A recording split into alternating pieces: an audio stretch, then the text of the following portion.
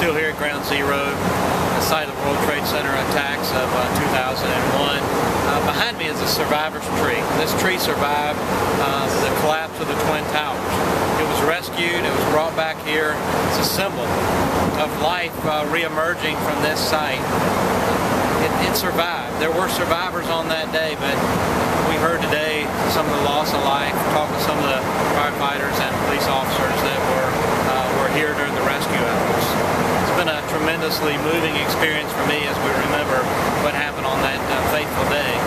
And uh, I want to encourage you to travel to New York sometimes and visit the World Trade Center site, see the, the pools that are uh, on the footprint of the Twin Towers, and understand what happened that day and how we can never not be vigilant about the threats to our freedom, our liberty, and the life that we enjoy here in America.